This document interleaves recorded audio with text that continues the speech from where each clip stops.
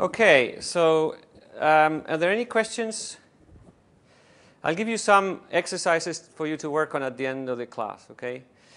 Um, so before we get into finally proving the statement about the fundamental group of the circle, we let me let's recall the definition of covering. Okay, everybody happy with the definition of covering?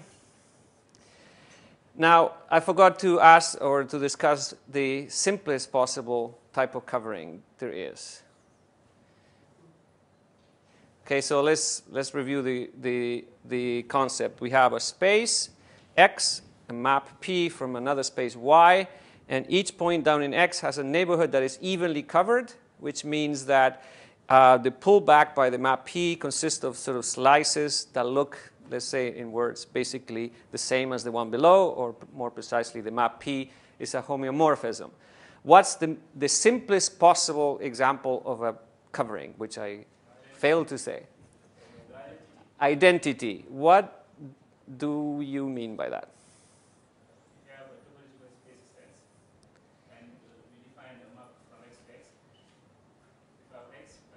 Okay, okay, so he's saying let's take the space y to be the same space x and the map p to be the identity. That's kind of a pretty um, sort of simple uh, kind of covering. I'm thinking of something a little more elaborate, not a whole lot more.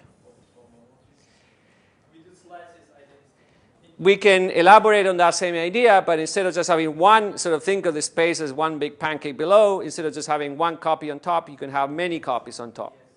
Okay, sorry, I interrupted. What, what was you going to say in your yellow shirt? That's right.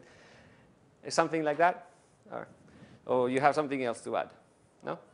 Okay, so if you take, um, so, a so for natural reasons, this is called a trivial covering. So you would have x, y, p, and y is x crossed with a set T, a completely arbitrary set T, with the discrete topology. So that's a, a, precise way to describe something like what we were saying in, in words. So here T, say, for example, are the integers.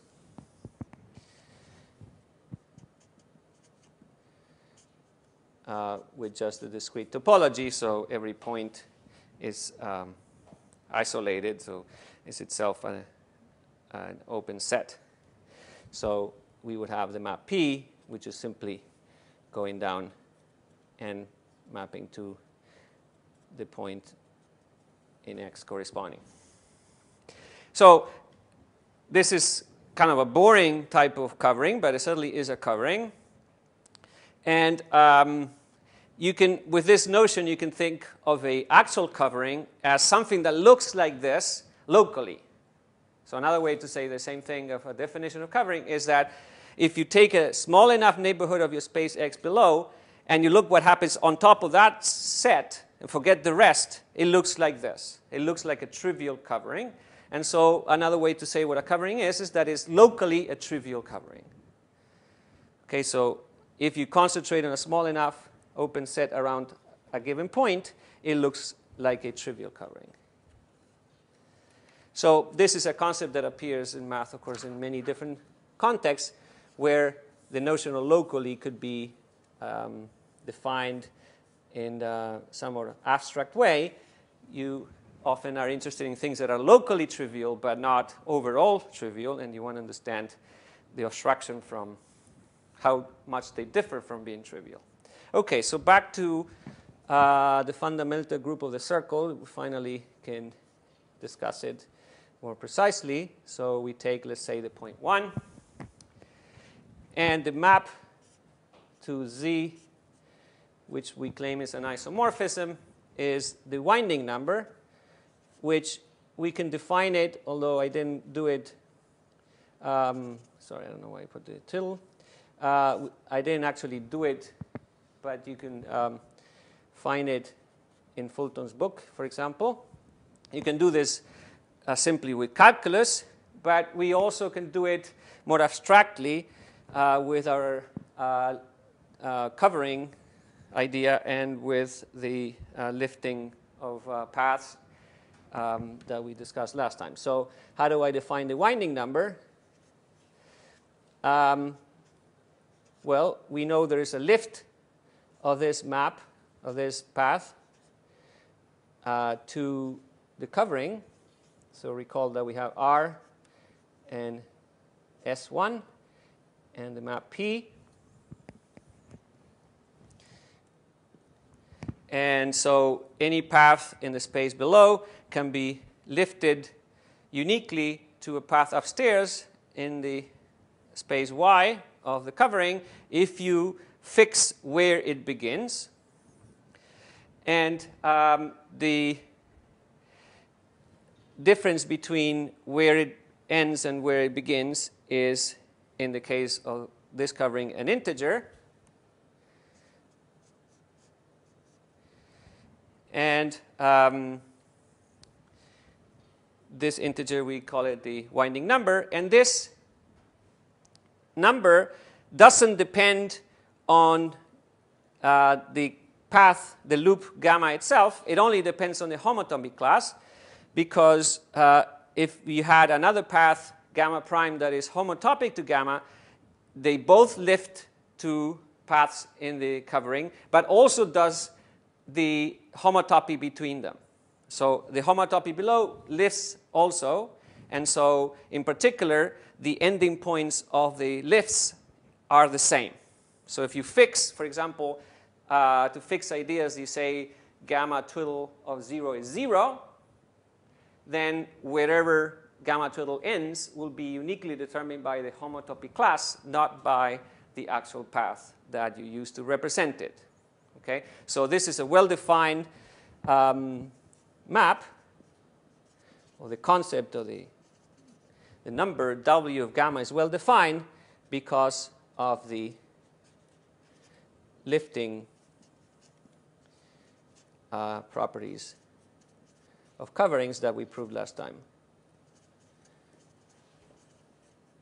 So both the fact that there are lifts of uh, paths unique lifts of paths and unique lifts of homotopies. Okay, so let's prove this uh, statement. So already I elaborated a bit about why this map is itself well defined, which is part of the proof. But let's say, uh, and I think we argued this already, but just to uh, sink this concept in better, let's convince ourselves that the map is surjective. So there is a path of any given winding number. And what do we say? How do we do see that? I give you an, an integer n. What is a path in the circle that has winding number n? It goes n times around the circle. We discussed this, so let's see how this goes. Say, let's call it omega n, and is the path that goes from S. Let me just say e to the 2 pi i and s to save some ink, because that's the same as cosine 2 pi s, 2 pi and s and sine 2 pi and s. Okay, now why don't we actually um, compute completely explicitly, because we can do it, what is the lift of this omega n. Okay? If anything else, to practice this concept and get it clear, as clear as possible in our heads. So what is omega n twiddle, a lift to r? And just to fix ideas, let's just say that, uh, sorry, the, yeah, omega n of 0 is um, 0. Okay, so um, our base point is the number 1 in the complex numbers in the circle. Okay, so a picture would be this. Let's say that this is our base point. And so the covering is from R to S1. And suddenly 0 is on top of 1 because it's e to the 2 pi i 0. So 0 is in the pre-image of 1 by the map P. And let's agree that our lifts start there. Okay? So what is this omega n? As we proved last time, there's a unique path that lifts omega n and starts at 0. So what is it? Sorry? n times t. So oh, let me try to keep my notation straight and call it s, as I was doing and Hatcher does. So it would be s goes to ns. Okay?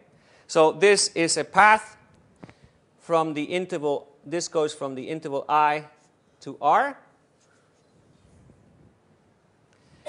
Certainly is a continuous map and it projects down to omega n, because in this case, projecting is taking the exponential e to pi i of the argument, and that's exactly what our path omega n is. And because this is a lift, we know it's the lift because there's, we know it's a unique one such. Okay, so in particular, omega n twiddle of 1 minus omega n twiddle of 0, which is 0, but I write it for completeness, is n minus 0, that is n. So this path omega n, indeed, as we knew all along and we already mentioned, has winding number n. But we, you know, they, what we're doing here is proving things rigorously, and this is um, an example of this, and we've done it without calculus. I mean, this is now pure algebraic topology. Okay. Now, suppose you have a path, a homotopy class of loops, of, a, of loop in um, the fundamental group. Okay. And let's say that its winding number is n. Okay, so how do we see that omega is homotopic to omega n?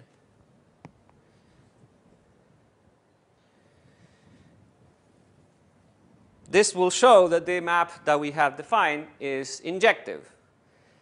Okay, that um, any path, any um, class in pi 1 of the circle is accounted for by omega n and only one such n. Okay, so how, how do we see this? And uh, let me do it slowly because the, the arguments that we're going to use only use the properties of, of coverings and one property of the reals. The thing to, to focus here is that, you know, the way historically and the way we're, we're learning mathematics is you learn calculus, you know, you, you get used to certain things, and then slowly you abstract the notions that are relevant, and then you, you can expand your theory to include things where you don't have the real numbers, places where you don't have the crutches of being able to differentiate, for example. So um, let's just try to reason this not by using any calculus, but uh, by using the the tools of topology that we have so far. And so the same tools would then apply, and you'll see that the only properties that we need uh, are one that the, that the uh, map is a covering, and one very simple property of the real numbers. Okay, so let's consider a lift. So we know it exists, and like, let's just again fix ideas and say that it starts at 0. Okay. And we also have omega n.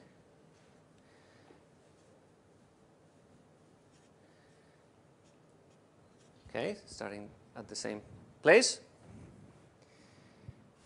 Okay. Um, how do we? How can we see that omega? Uh, sorry, that gamma and omega n are homotopic?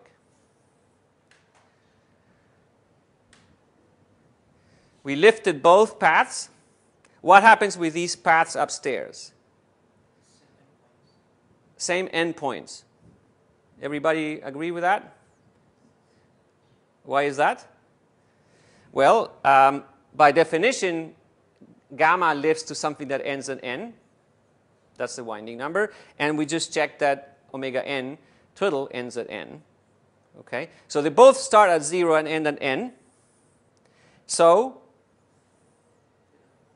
they are homotopic because because R is simply connected. Because R has trivial fundamental group. So all we're going to use of the real numbers is the fact that it's simply connected. Is that, is that clear?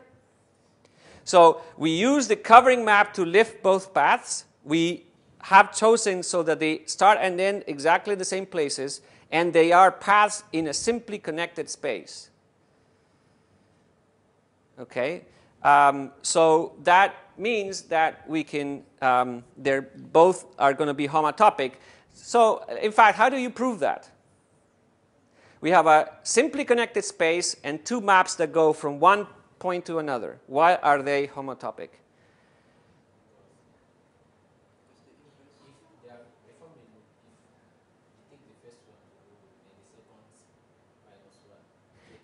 Okay, so what he's saying is that you take the first one going one way and take the other one coming back. And uh, this will give you now a loop because they end at the same spot, same spot. And that loop, because the space is simply connected, contracts. Uh, it's a trivial, um, uh, has a homotopy class of a point, and this will give you a homotopy between the two paths. Okay, you would have to fill in a few of the details, but that so the, we use the fact that we have a covering and the fact that the space upstairs is simply connected. That's all we're going to use of this, the topology of the situation. So we can apply exactly this, uh, this argument in a similar situation. Okay, so if you like, concretely, because we are in the, in the reals, you can actually write down the homotopy, right, which we've done before.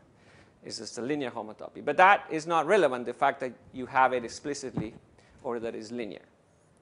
Okay, so because R is simply connected,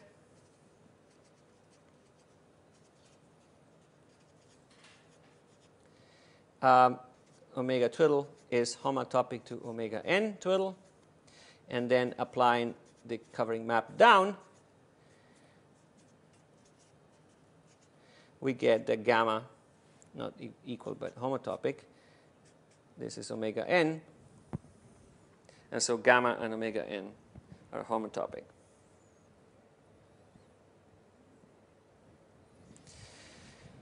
Okay, so that means that this map is surjective. We saw that, and it's also injective because um, any loop in the circle in the base is homotopic to one of these omega n's and it has to be only one possible omega n because n is where the lift ends. If it ended at a different number m, then it cannot be homotopic to uh, the one you started with. So the point is omega n and omega m are not homotopic if n and m are distinct because n and m are where the lifts finish and um,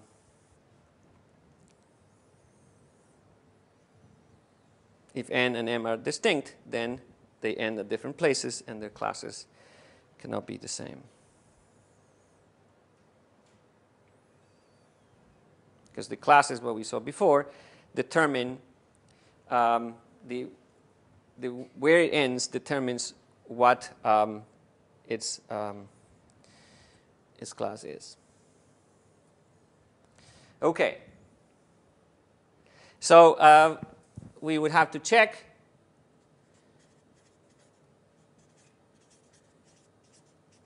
that the map that we constructed is a homomorphism, but um, this will follow if we check this. And so how would you check that?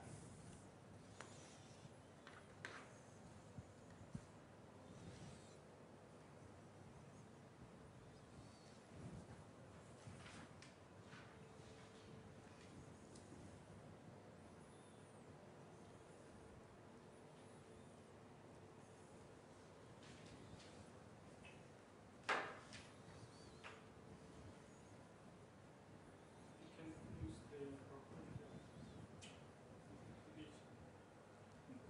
of multiplication? Because we can define omega n and omega m by e to the power 2 pi i n s. Now using this and using the factorial properties, we will get this one.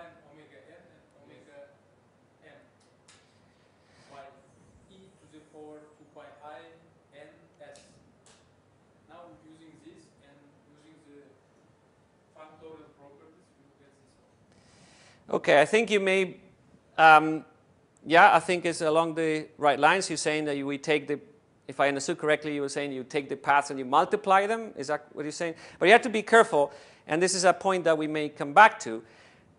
As it happens, S1 is a, circ- is a group, right? Uh, with multiplication of complex numbers, for example, or just angles, right? So there are two things you can do with two paths you can take the paths and actually multiply them in the group. Okay? And that will give you a third path. But that's not quite, this is something you cannot do if your space is not a group. Okay?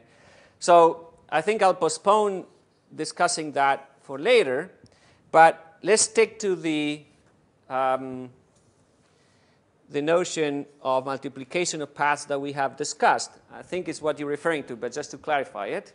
So how would you do this? You have to, we didn't really do it in, in detail, and I'm asking you to do it in the homework. But basically, in words, what is it we do? We, we have two paths, and we want to multiply them, or rather the homotopy classes, but we start with a path from one class, and then we, we um, in general, you go from one point to another, and the next path has to start where the other one ends in order to be able to multiply them, and then you basically follow it out, right? So you do that with this, and so what happens? Uh, omega n, when you, when you lift it, goes from 0 to n. And omega m goes from 0 to m. When you multiply them, what you're going to do is you're going to shift the second one. You know, the first one goes from 0 to m, and then you follow that by going from 0 to n from that point on. And so where it's going to end is going to end in W in n plus m.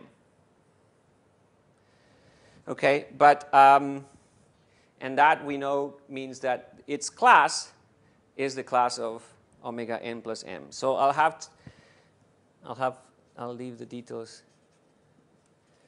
um, to be worked out by you. It's not difficult, but it's one of those things that I think we can save a little uh, tediousness by moving forward. Okay, so this will show you show us that the map is a homomorphism, is bijective, and it will prove what we were saying. So just uh, to summarize, what turned out to be useful facts that we used were one, that R to S1 is a covering. We have a covering map. And two, that R is simply connected.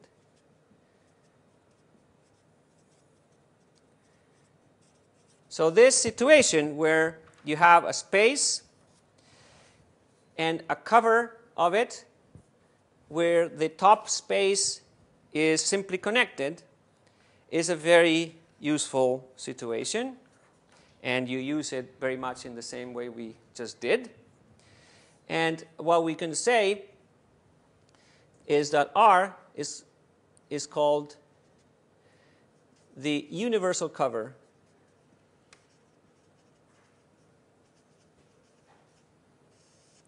of the circle. So it's a connected, simply connected covering of the space. Okay, so that's um, a very important situation, and I don't know how much I, will be able to fill out this, this statements, but if you know a bit of Galois theory and you like that point of view of algebras, um, this you should think of a field, and then the top thing is like the Galois closure. And the fundamental group will play the role of the Galois group of the algebraic closure over the field itself. Okay, but I'm not sure I'll be able to, to fill out many de more details about this relation than just what I just said. Okay, so that's good. We now have done something fairly uh, substantial that is a, a, result that we talked about already in, even in the first class, but now we actually have all the tools to, to do it, to prove it rigorously. And we did it with just algebraic topology, not with any other notions that don't easily extend, like uh, metric spaces or differentiation or anything relating to the real numbers.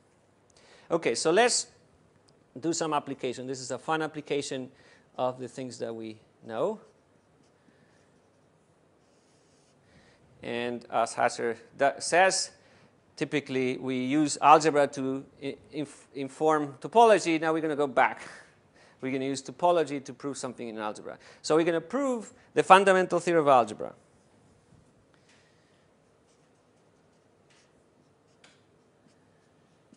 Okay, which says that any polynomial of degree bigger than zero, so non-constant, has a root in the complex numbers.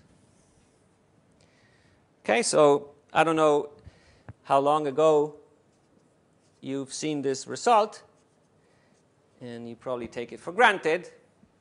You sort of incorporate it and it just becomes part of what you know. You don't stop, stop to think about it, but it needs a proof. It's, you know, you start with the real numbers. You may be fairly comfortable with the real numbers. Suddenly you add one thing, i, and then out of a sudden, uh, you get the roots of everything.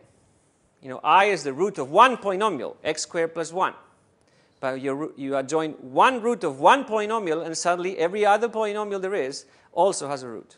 That's a pretty strong fact. So if the degree of p is bigger than 0, p has a root in C. Okay, so let me first uh, so break this up into steps.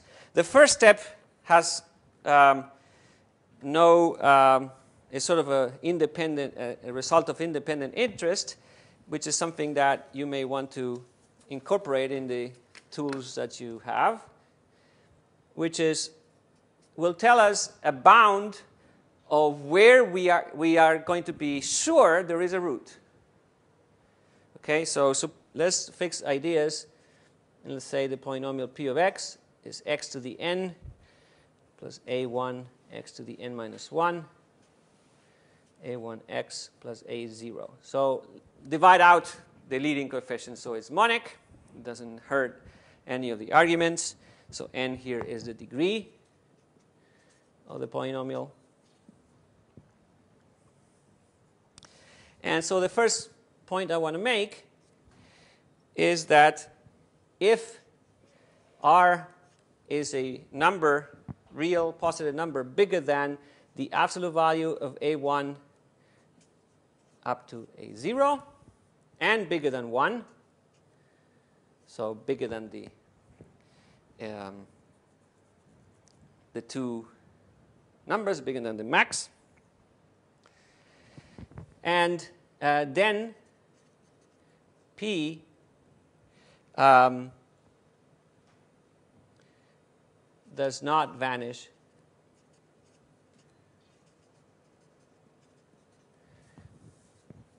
on the circle of radius of any, any point of um, norm bigger than r.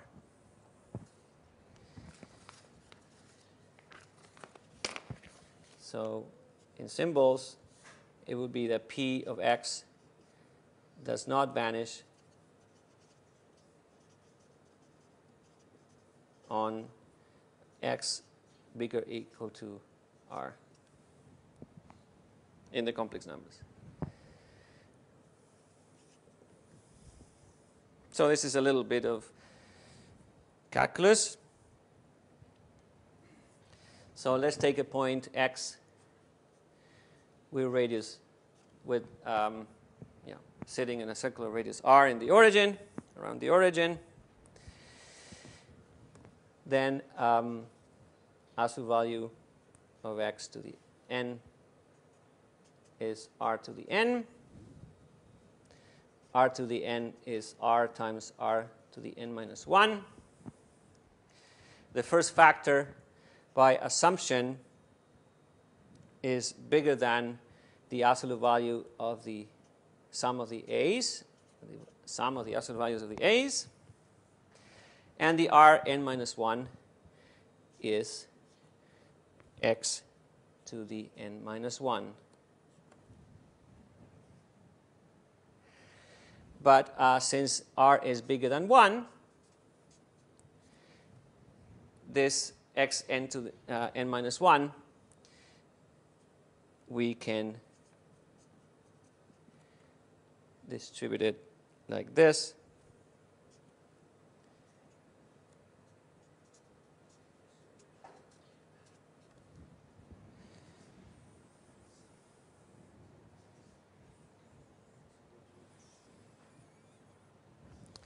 And so um, that means that if p of x was 0, we would get that um, r to the n is minus a1x to the n minus 1, a1x plus a0.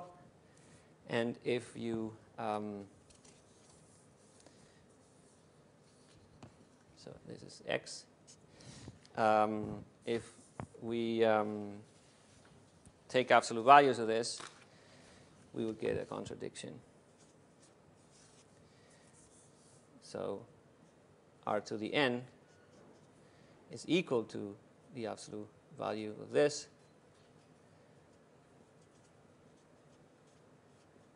And this is a contradiction. So this was assuming that we had a root on the circle exactly radius r, but this is true for any r was anything bigger than that bound of the sum of the absolute values of the a's and 1, so this is true for all such circles. So this is good to know because usually we can think of, we, we use this the other way around. So since it cannot vanish outside this disk, and we are going to prove it vanishes somewhere, it has to vanish inside. So it will have a root inside. In fact, all the roots are going to be inside this big circle. So if you ever wonder, you know, how big can the root of a polynomial uh, be if you have one in your hands, this is a simple-minded, um, not too bad, uh, bound for where the zeros of your polynomial must be. Okay, so that's point one. Okay, so now let's look at the path um, loop, to be more precise. Uh, then um, this Uh, so we're going to have two loops.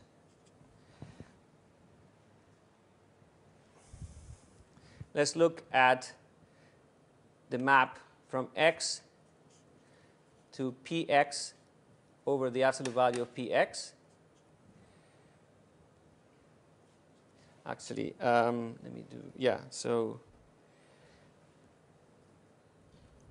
uh, I'll do this for two polynomials, p0 and p1.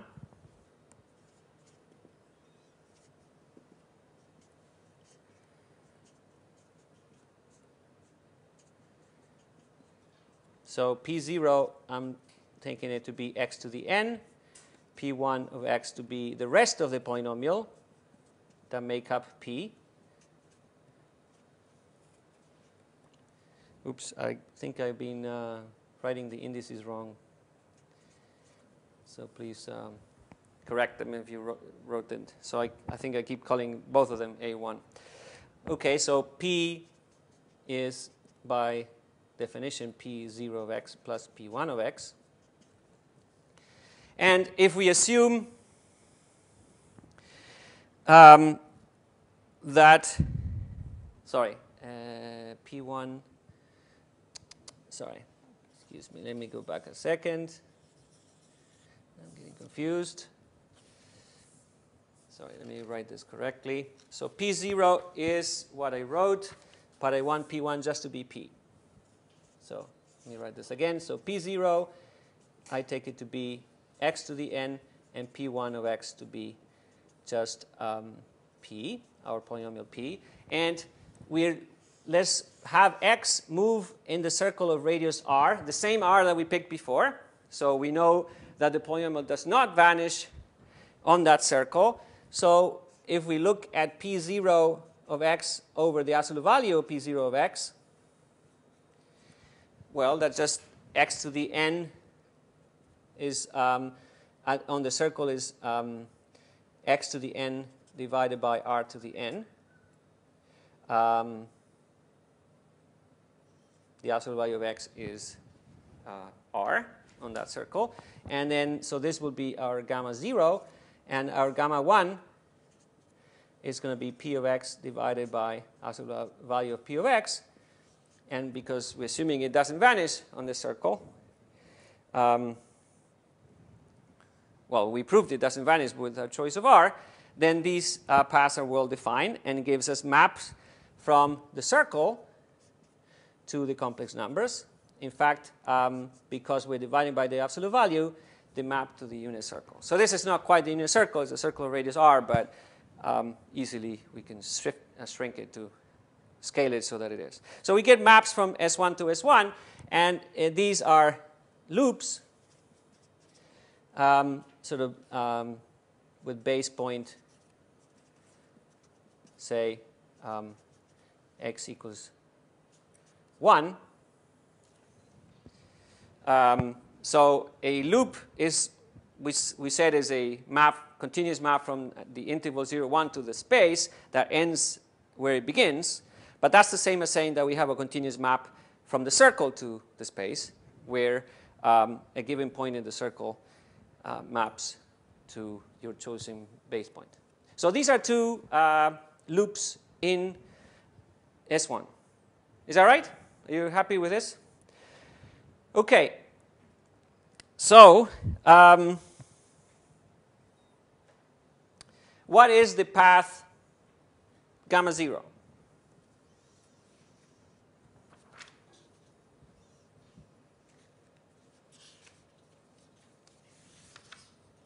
We've seen it before.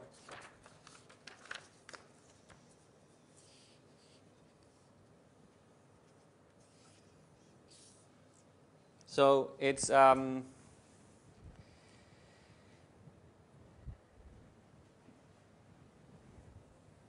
is ignore the r. The r is just a scaling factor. Is uh, essentially x goes to x to the n.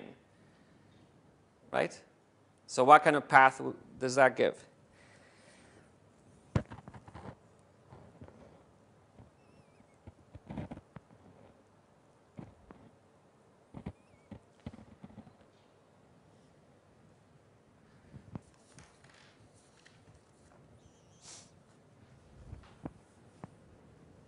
What's the path in the unit circle given by the map x goes to x to the n, if you think of x as a complex number in the unit circle. Come on, guys, we've done it before. Yeah, it goes around n times. So is the path gamma is the path gamma n uh, omega n, right? And um, so sec second. Um,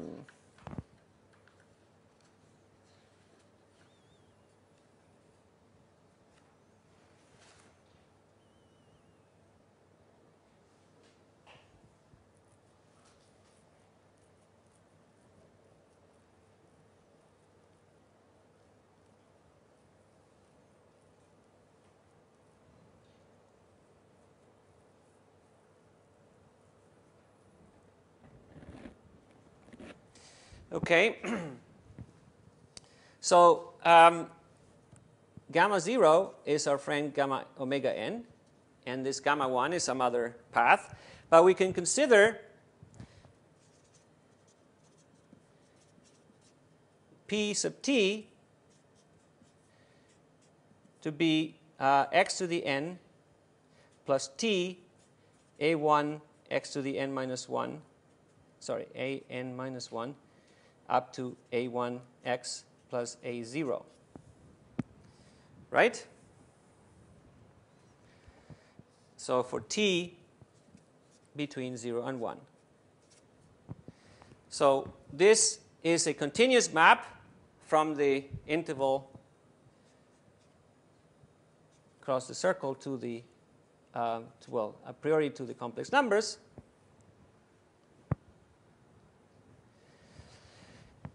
And um, P of 0 is when t is 0, so that's x to the n. And P of 1, that's when t is 1, is the sum of these two things. That's our polynomial P.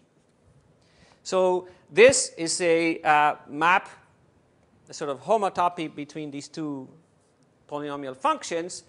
But um, you can see by the same argument that we did before that um, p sub t does not vanish on the unit circle, uh, sorry, on the circle of radius r, the same r that we chose before. Just exactly the same inequality. If you stare at it, it will tell you that it um, also tells us that this polynomial does not vanish on that um, on that same circle. So that means that um, p sub t divided by the absolute value of p sub t, so define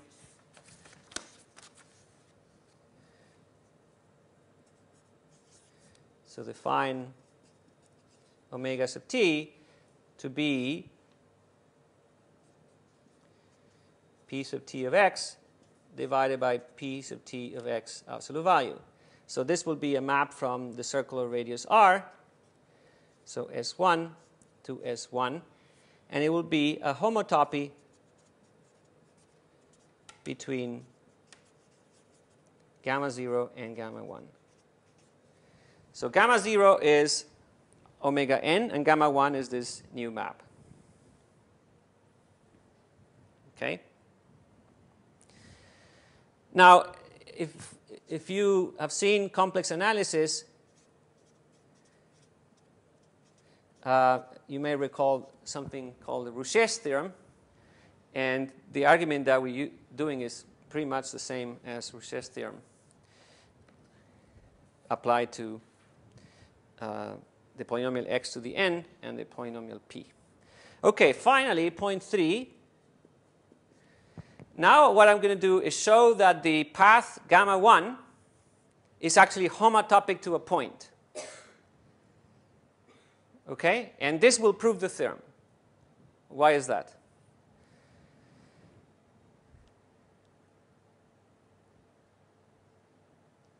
So we'll prove gamma 1 is homotopic to a point.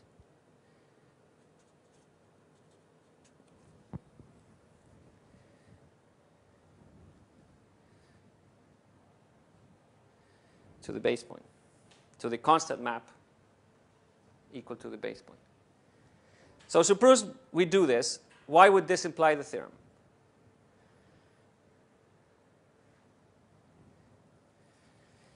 Well, what do we have? We had two paths, okay, gamma 0 and gamma 1,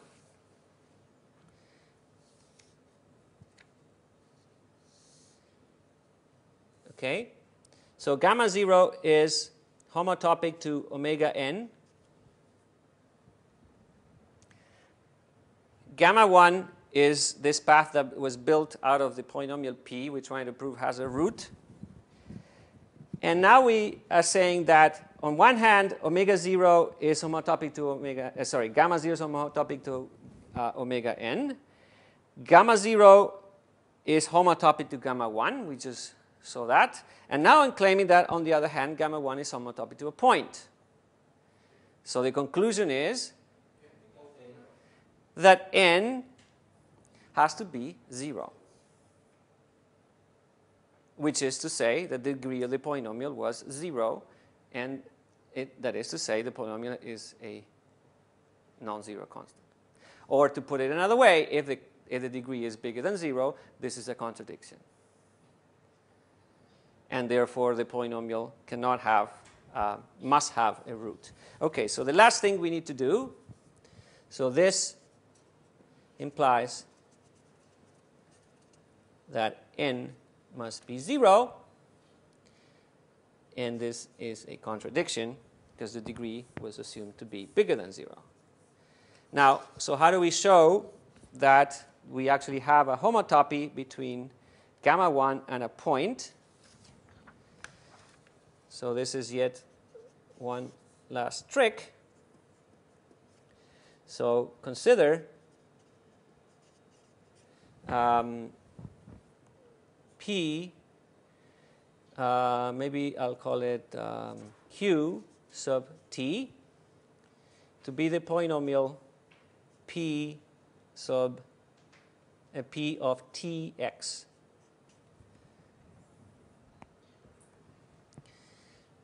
Okay, and um, so actually maybe we'll do P times T Rx. So if T goes from 0 to 1,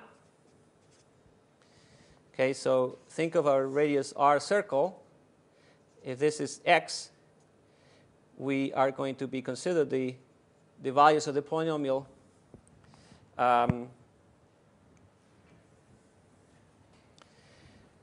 in sort of smaller and smaller circles as t goes from 1 to 0. So if t is 1, um, we get um,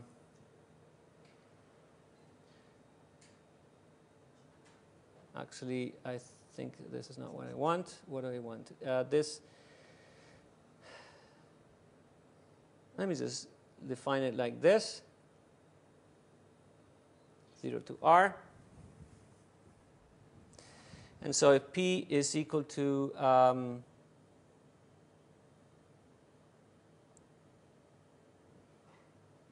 one,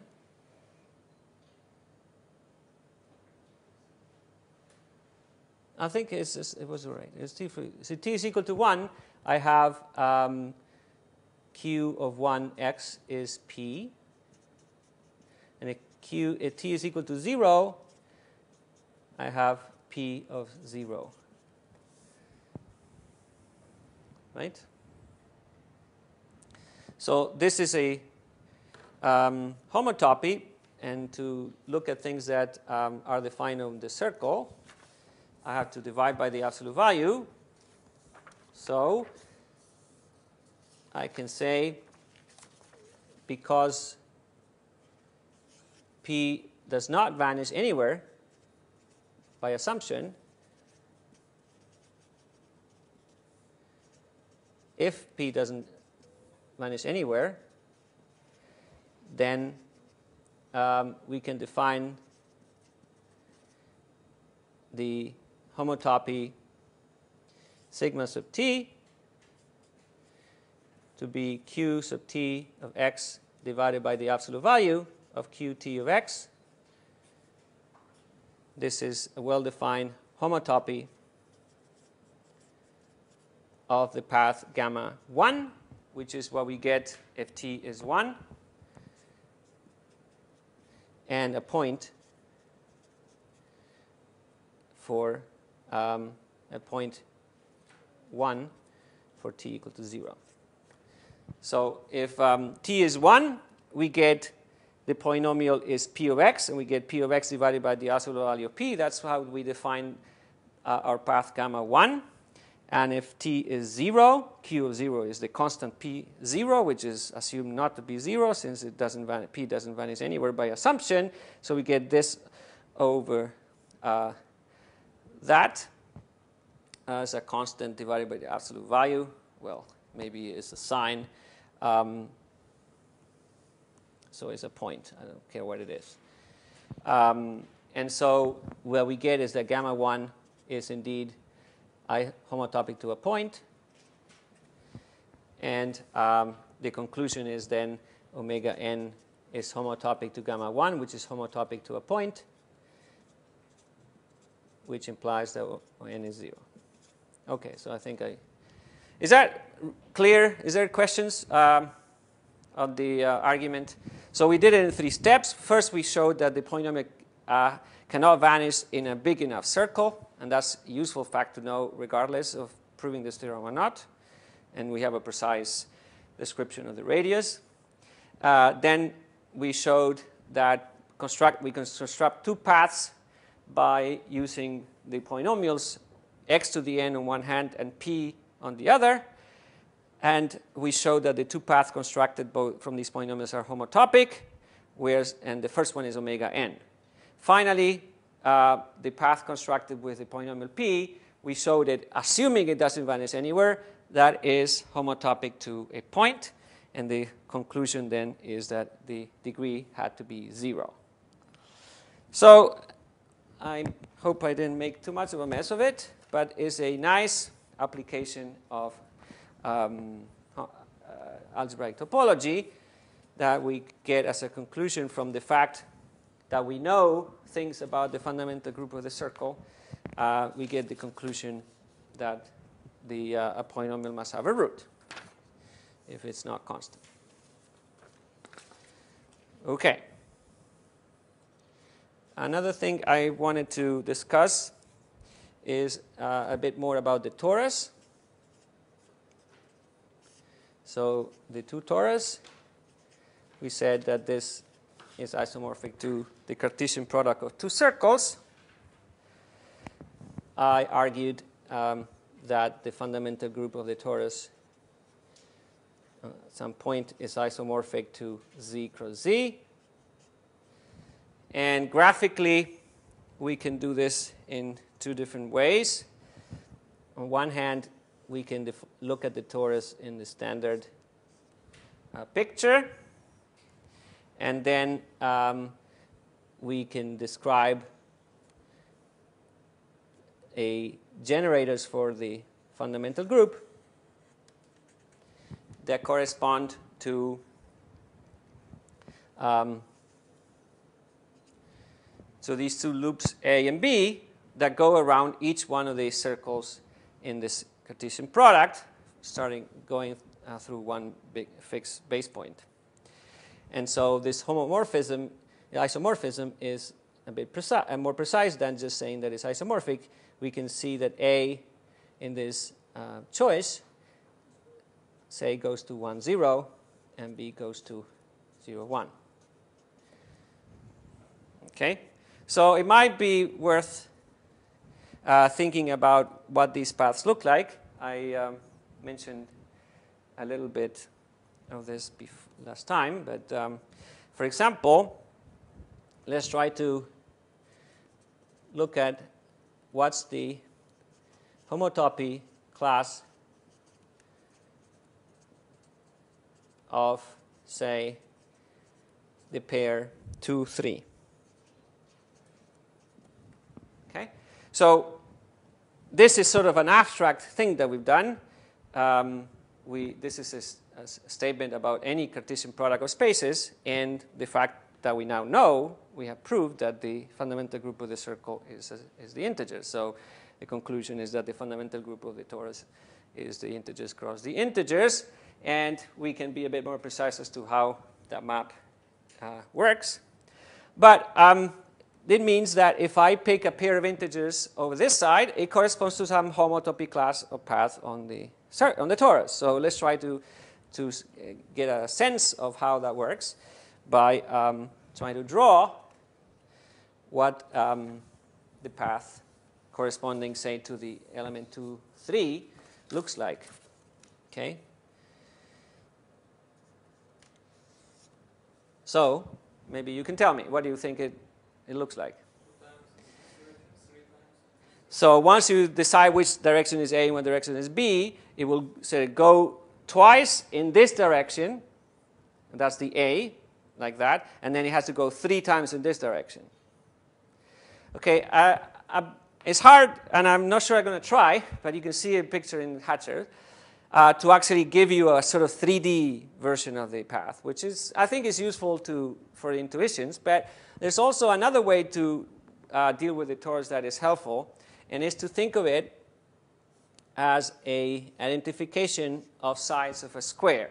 Okay, so you've seen I think this before. If you call this the A si uh, side, this is the B side, what um, this means is that the B is identified with orientations uh, with itself. So if you take, you cannot do this with a sheet of paper because it doesn't fit flat in this in 3D. Okay, so you can do one and of the foldings, but not both. So if you take this sheet of paper, you can identify these two sides and make a cylinder. Okay. Now, what we have to do is take this disk and identify it with that one, with that circle over here, and that will give us the torus. But of course, you cannot do this with a sheet of paper without breaking it, because the torus is just not flat. Okay, so, but I can fold it this way, which would be the other identification, or I can fold it this way. Okay, so the two identifications actually are what we need to do, but I cannot do them physically with a sheet of paper at the same time. But um, with this, then uh, some things have become a little easier to digest. So uh, if I were to draw the simplest, simplest possible path that corresponds to the class, sorry, whose class corresponds to the pair 2, 3, what would be, if I were to picture it here, what would it look like?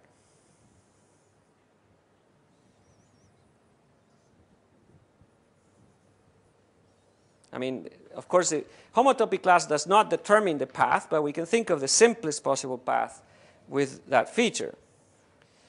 Just like with the circle, there are plenty of paths that have um, homotopy class of omega n, but the simplest one is omega n. So one thing I should stress, I mean, when you think of this, uh, these problems is one typically draws, you know, paths that look very well behaved. You know, you, omega n just goes around two circles. Pre, pre, but the path, of course, could be completely crazy, right? You could go back a zillion times and then go zillion back, and it could still be homotopically trivial. So paths themselves are very flabby things. I mean, they could be all over the place.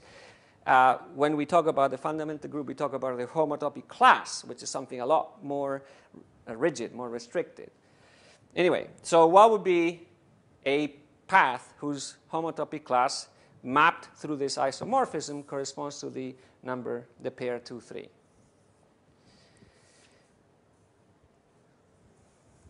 Any thoughts?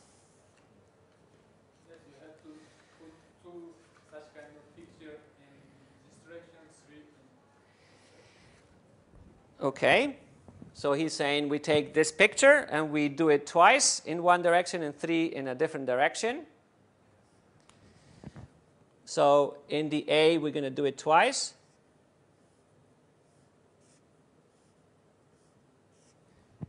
Hmm? Well, there's A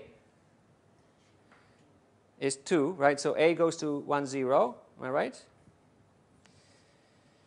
Let's see. I either get it right or I get it exactly backwards, which is possible.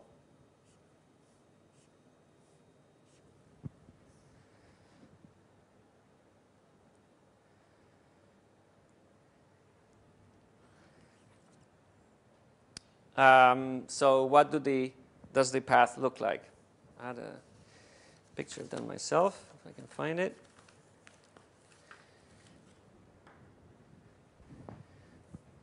I think you may take any path from 0, 0 to 2, 3. Anybody is he saying that we can take any path that goes from 0, 0 to 2, 3 in these coordinates? Any people agree with that? Yes? Okay, good. We're using lifting property. Okay, so let me take the simplest possible path that goes from one point to another, namely a line.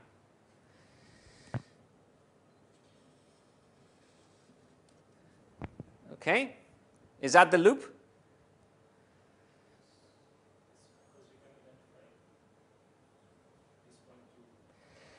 So this point is equivalent to this point, which is equivalent to this point, which is equivalent to that point, that point, that point. So if you do all the identifications, this will be the um, same point. Now, if we were to draw this in only one circle, in only one square,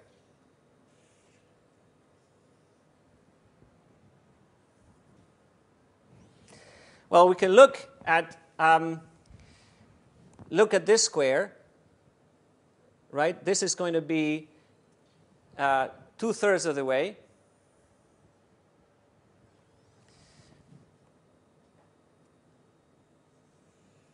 So this is the picture here, right? Now, um, this continues into this picture, which if I bring it down, it means that I identify this point with that, and then it goes to um, probably half.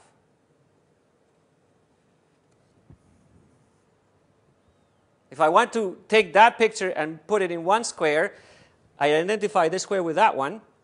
And so what I see in the square is this little thing. And so um, this is the same as this point,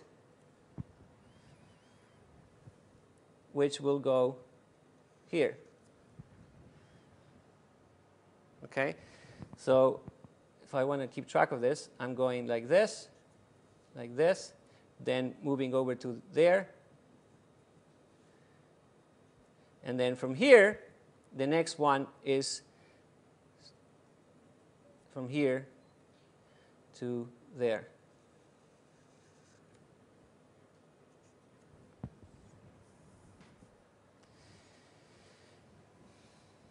Okay, so if we,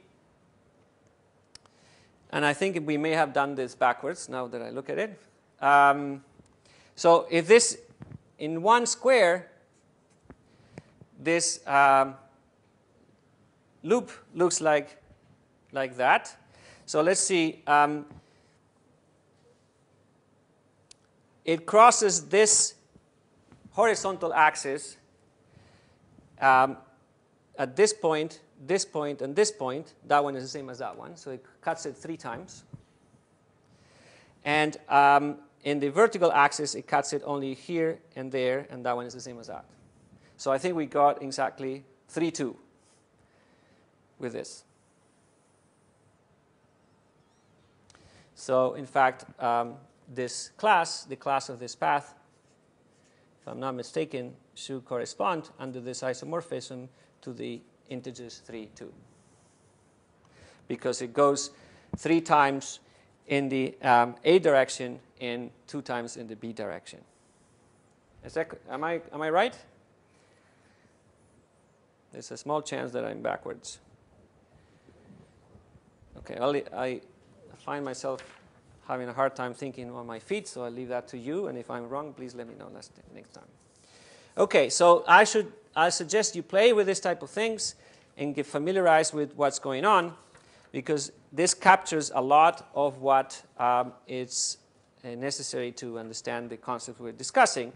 These examples um, capture a lot of the details and uh, is, is a good idea to be familiar with, with these, uh, I wouldn't say simple, but sort of basic examples to make sure the concepts are, are um, you know, in, you, you sort of uh, incorporate them as uh, natural things you don't have to think every time.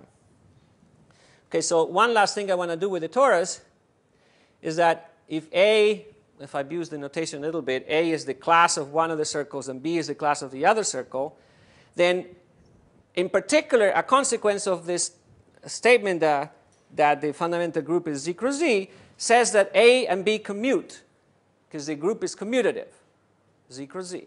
So that means that the class of AB and A inverse B inverse should be what? Should be trivial. So that means that if I take the circle in one direction, followed by the circle in the other direction, and then I do the two things backwards, I should get a path that's homotopic to the identity. So it might be a good thing to actually see that. Okay, so um, let's go back to our square picture. So this is A and A and B and B how would the commutator A, B, A inverse, B inverse look like as a path?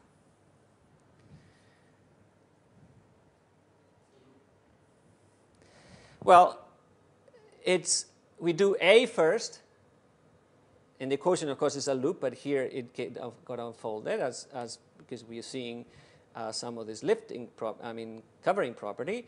So A we do from here to here, then we do B, then we do A inverse, which is going, is going through A backwards, and then we do B inverse. So in this picture, the whole commutator path can be described as simply going around the circle in a loop, as he was saying. Now, how do we see what the homotopy is? Or what is a possible homotopy to show that indeed it is uh, the trivial class? If you, if you had to actually write down the homotopy, which is not what you typically do, but if somebody tell you, no, I actually want to see the function, write it down for me.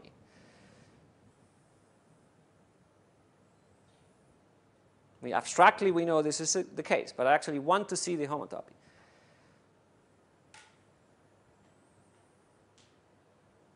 So we want to take this path and slowly deform it until it looks like a point.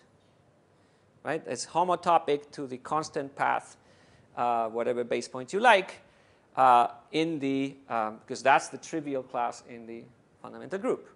So let's say this is our base point, um, just to fix ideas. It's much simpler than you may think. If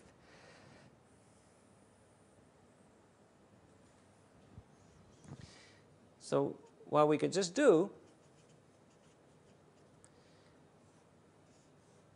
is slightly deform the path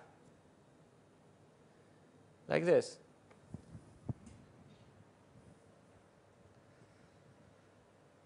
Okay, so that thing that I drew is a path in the torus. And um, is homotopic. I mean, we have to we would have to, if you really wanted to write this down, we have to sit down and write some uh, formulas down. And we just keep doing this.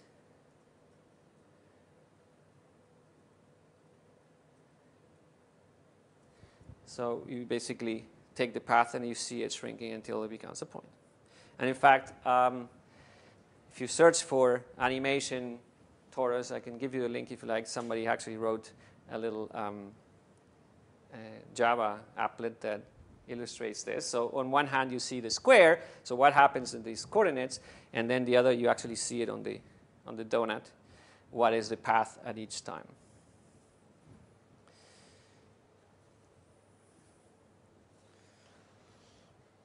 Okay.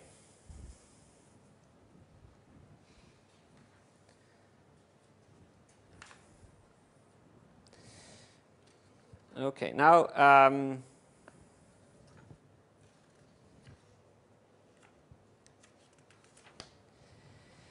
let's move on to a yet another application or another calculation which is useful.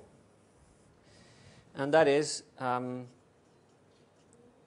a statement about the fundamental group of the sphere in n dimensions. And if the dimension is 1, that's a circle, and we computed that to be z. If dimension is 0, well, what, what's the sphere of dimension 0? huh? How many points? Two points. Two points, right? So that is not even connected. When you go to a circle, it's connected, but it's not simply connected. It has one loop that you cannot, you know, essential loop you cannot retract. What happens if you go S2? Any loop should be homotopic to identity, and you can imagine what it is. You just draw it. If you have a simple little thing that you can see, what you do is basically think of it, this is a lasso, and you sort of pull the string, and you collapse it to a point. That should be at least intuitively clear that the fundamental group of the two-sphere should be trivial. And in fact, it's trivial for any other n.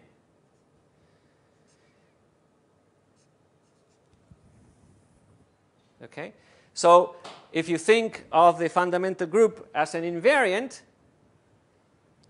it allows you to distinguish the circle from any other bigger sphere they cannot be homeomorphic because one has fundamental group Z and the other ones don't. Okay?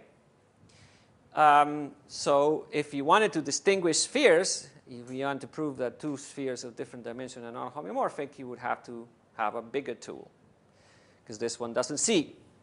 For the pi 1, they just all of the spheres look the same. They look like trivial, uh, have trivial fundamental group. Okay, so the proof of this, it's uh, in a sense it's simple, but there's um, a little technicality one has to go around to uh, completely prove it.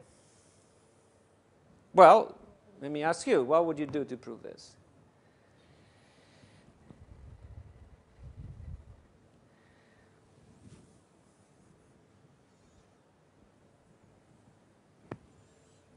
Think of just the regular two-sphere. How would you actually prove that the two-sphere is simply connected, that has trivial fundamental group?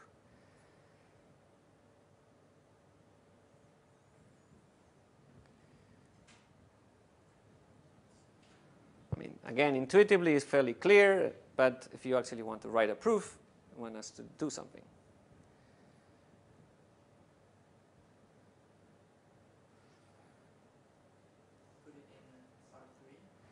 Okay, we have it in R3, fine, is there. Project is R2. Projected to R2, and what happens then?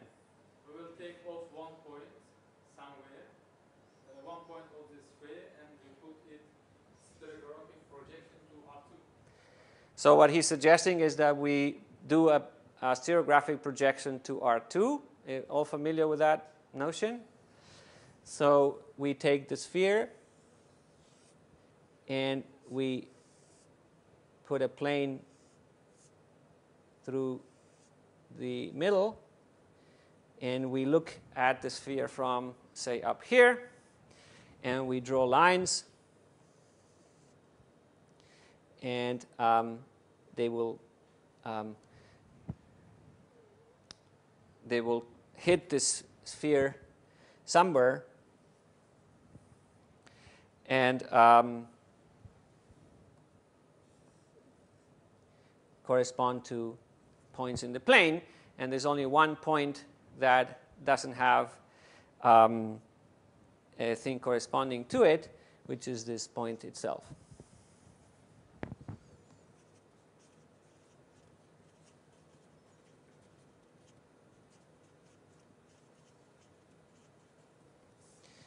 Okay, so the conclusion we want to get from this is that if we take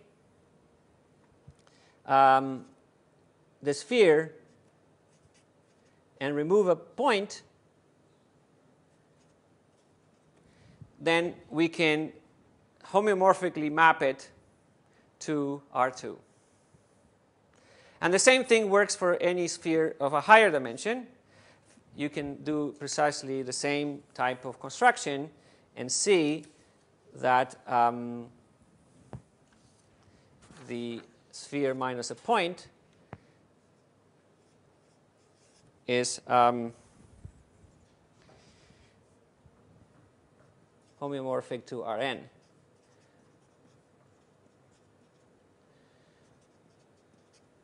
in general. Okay, does that prove it? Let's go back. What are we trying to do? We're trying to prove that the fundamental group of the sphere is trivial for dimensions 2 and higher. So say, let's concentrate. The idea will be essentially the same for all cases, so let's just concentrate on 2 for now. How would you prove that the two sphere is simply connected? We just uh, saw that if we miss a point, then um, it looks like R2, and R2 we know is simply connected. Is this enough to show that the sphere is simply connected? Yes? No? Maybe?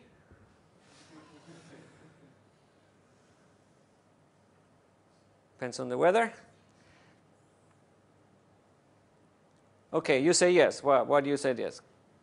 take any group, then project it, then uh, project it, then in, in R2 we can project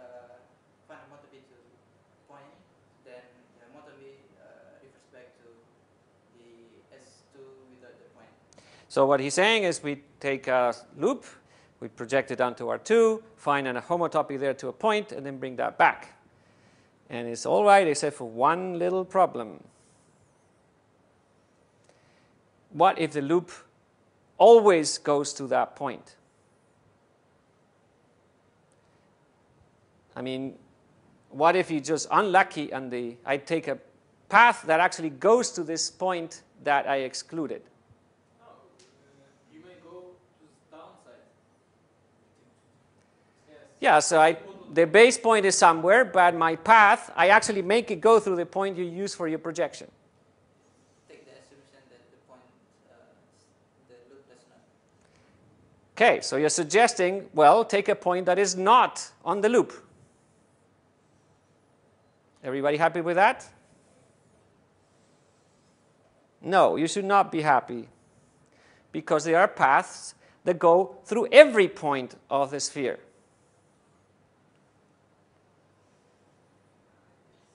Okay? So you cannot do this argument yet because the path just might be completely fill out the sphere. Could be completely surjective. This is counterintuitive, but there are such space filling curves. So if you do that, if you have, if somebody brings you that path, then you're stuck. Your argument doesn't work. But what's the saving grace?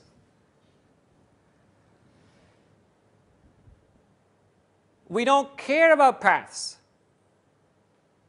We care about homotopy classes of paths. So somebody brings to you this nasty path, and you change it. So what we would have to show is that if you have any path, you can always homotopy it so that it misses at least one point. But how to prove this? The Okay, now we, that's where we're getting to. But okay, this at least is a strategy. Okay, but, but it's also driving, hopefully driving in the point that the paths are not the thing we really care about. What we care about are their homotopy classes. Okay, so um, so if the path misses a point, use use it, point P, use P to project to Rn and use Rn is simply connected.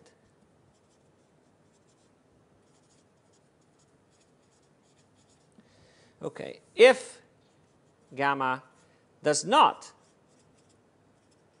miss a point,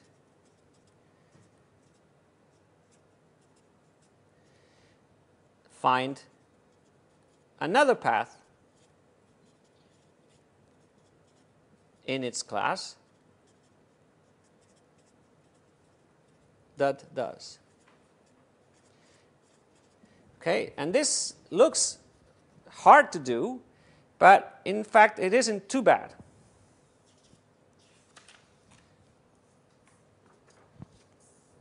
And we'll probably end with that.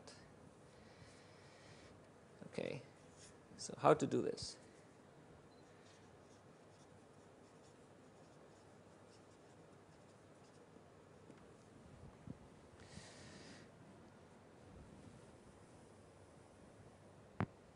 Okay, so take your favorite point x. That is not the base point, right? Because the base point, the path definitely is going to go with a base point because it's a base point. Take a little ball B around x, centered at x.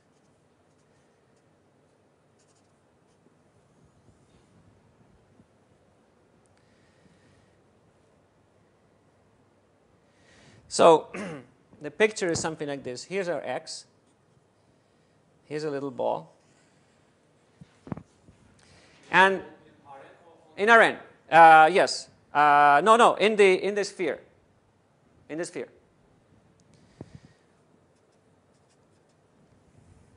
So ball meaning, think of it, a little disc. And um, so now let's think of the path. You know, it's just all kinds of branches of the path are going in and out of that sphere. Uh, and, uh, you know, say lots of them are going through X. What we want to do is take the path and slightly move it inside B so that it misses X. And then everything else on the path, we leave it as it is. So the homotopy is only going to do a little damage to the path in this ball. And what we're going to do is move the little the strings that go through X a little bit so they, they miss X. And a priori the difficulty is, well, there could be infinitely many things that go through X, in which case it's going to be hard to argue that you can move them all within a homotopy. But in fact, there's only finitely many one that do. And so we, we can, by sort of iteratively move the little branches one at a time, and that will uh, be a, um, that would result in a homotopy that, um, that will, in the end, give us a path that misses x altogether. Okay, so here we do have to use, I mean, after all, we have an interval that always ultimately is going to play a role. The, the paths are mapped from the interval to the space. So let's take um, gamma is our path. Take gamma inverse of B. So this is a little open ball. So this is some open set of the interval.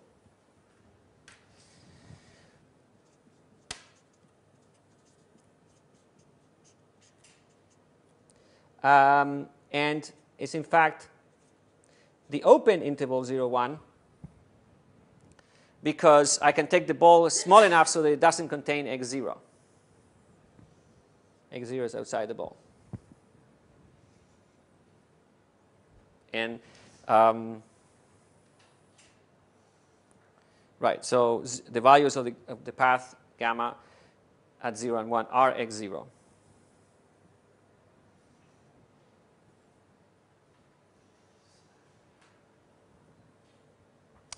Okay, so this open set is a disjoint union of open intervals, AI to BI.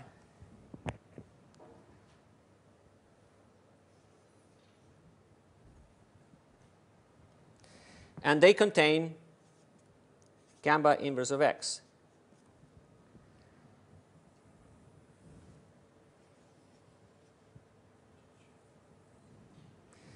So what kind of set is gamma inverse of x?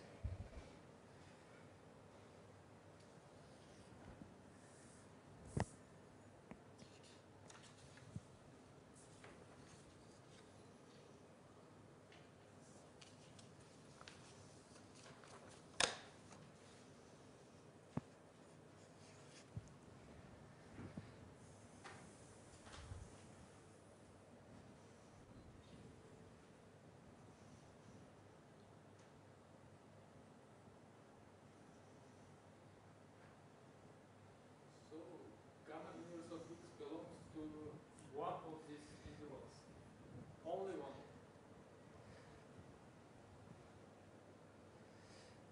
Let's be careful. What is gamma inverse of x?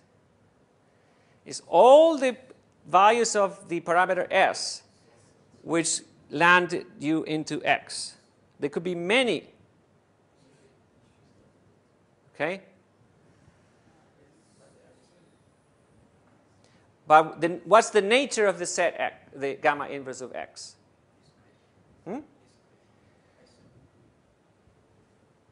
Is x itself is a closed set. Gamma inverse of x is a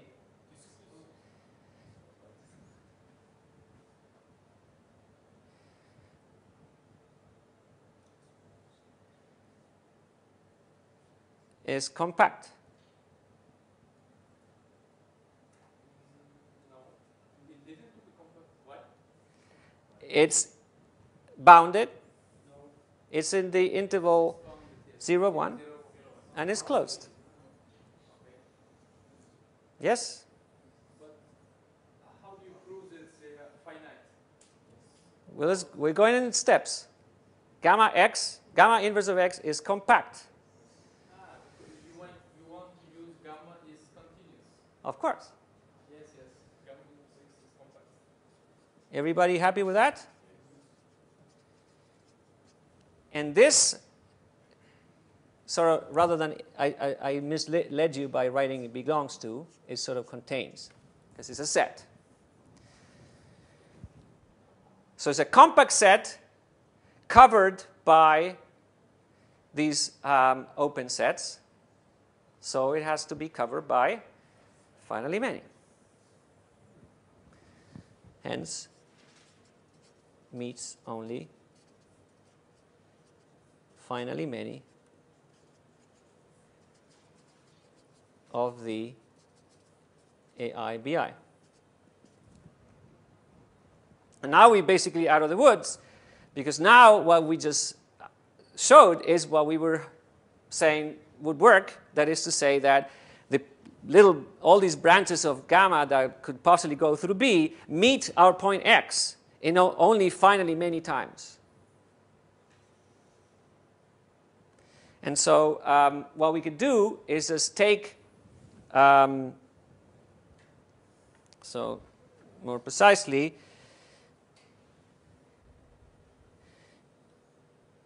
if we um, let gamma i be the path gamma restricted to the interval i i bi, this goes from ai bi to the closure of b, and the endpoints are where?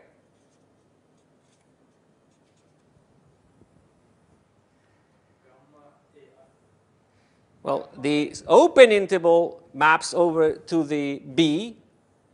So if we add the endpoints of the interval, they are going to map to points on the boundary of the B.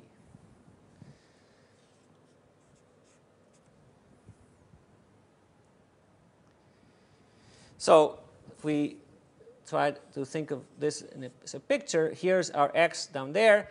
Let's say this is a point gamma i. Let's maybe give some names. ai is xi, and gamma i of bi is yi, or maybe xi0 and uh, x1i.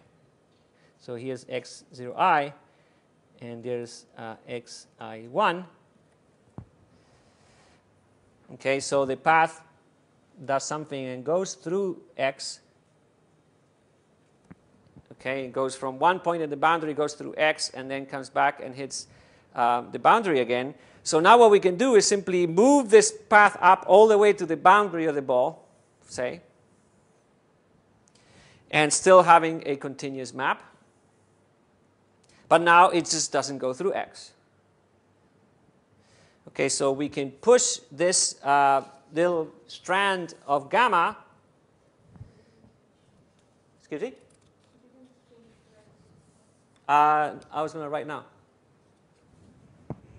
Um, yeah, I was uh, going to write it here. So, um, so push this strand of gamma to the boundary of B and repeat. So, um, finitely, many times. And that's the crucial thing that this process will give you trouble if you try to do this infinitely often. So, repeat finitely many times to get a homotopic path avoiding x. Ha. So that's a clever argument. And now, once we know that we have a path that doesn't go through x, we. Yes? Where's T compose? Scott, sorry? Sorry, this is a gamma, excuse me. My, so take the previous path that we had before, the, the path that, Now it's two, it's not something.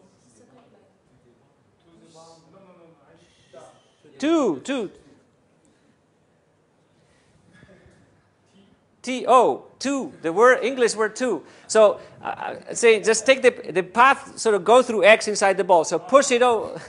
Sorry, is that is that clear now? Sorry. No, it wasn't mathematics. It was English. Okay, is that, is that clear then? So this is a nice, clever argument and um, avoids this uh, pitfall of having a path that covers the entire ball and would give us the trouble as the entire sphere. So um, what we did then is make a homotopy from the path that is annoying to a path that we can deal with, and then use the argument that we started with. So this shows that um, the the uh, spheres of higher dimension are, are, are simply connected. Now, we should be careful. Where did we use that n was at least 2?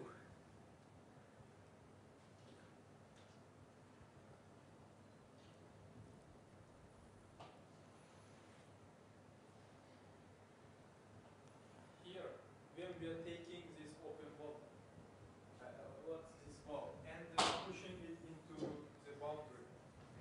Because if this were, um, if we did this with S1, what would be the problem? We would have a, well, there we certainly have plenty of paths that are completely surjective, right? Uh, what we, where would we fail when we try to avoid a point? We take this little ball, try to avoid the, the x, but um, everything else will work, but um, this, this, we couldn't be able to do this deformation to the boundary as he's saying because the boundary consists of two points. Okay, so um, yeah, so that one has to be careful in stating, you know, I just basically wrote down, but in words, but if you uh, want to be write this more carefully, you have to, of course, verify that this can be done, and that's where you need that n is least 2. Okay, so the fundamental group of spheres, higher spheres, is trivial. Um, we'll continue next week, and I'll give you some homework uh, for you to uh, work on.